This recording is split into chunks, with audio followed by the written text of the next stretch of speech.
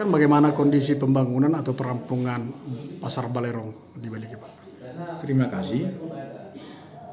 Sebelum Lebaran, pihak dari Kementerian PU atau Balai PKP yang ada di Medan yang langsung dipimpin oleh Ibu Heti, Ibu Heti sudah datang meninjau kondisi pekan Balige atau pasar Balige. Di hasil peninjauan tersebut juga diajak oleh Ibu Eti juga pengawas, konsultan pengawas. Dan di sana ditemukan beberapa kelemahan-kelemahan atau kekurangan-kekurangan yang pihak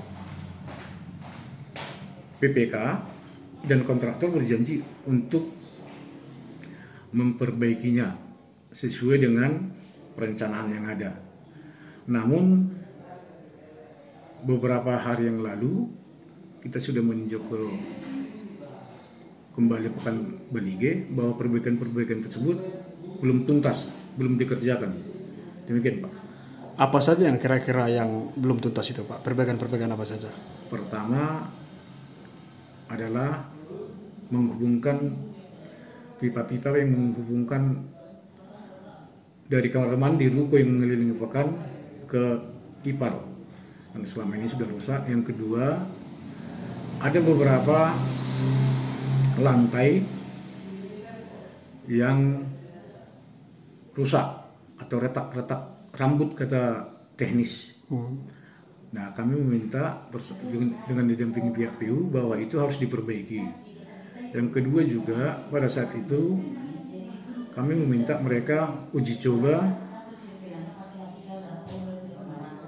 uh, tangki air hmm. yang berada di tanah. Namun pada saat itu gagal karena tidak tersedianya air. Air tidak mencukupi. Yang ketiga adalah adanya tempias hujan masuk ke dalam pekan yang mengakibatkan air tergenang.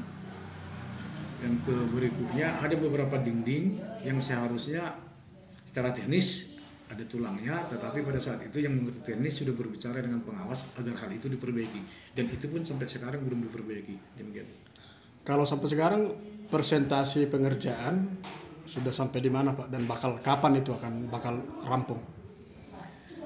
Kalau pihak kalau masalah perampungan persentasenya secara teknis saya tidak bisa menjawab karena memang saya bukan bidangnya itu. Hmm. Cuman kalau perampungan pihak PPK Ibu Eti berjanji setelah Lebaran ini akan dilaksanakan serah terima setelah melakukan perbaikan-perbaikan. Namun sampai sekarang belum ada kabar beritanya. Soal jumlah pedagang yang bakal mendapatkan di kemudian hari bagaimana, Pak? Jumlah pedagang yang kita pindahkan dari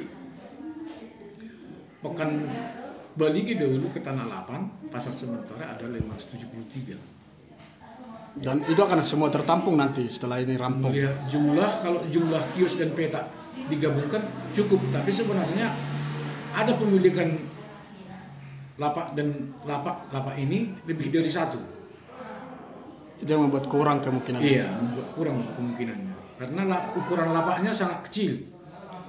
Artinya butuh dua ya, butuh iya, dua tiga dua. mungkin ya. Iya.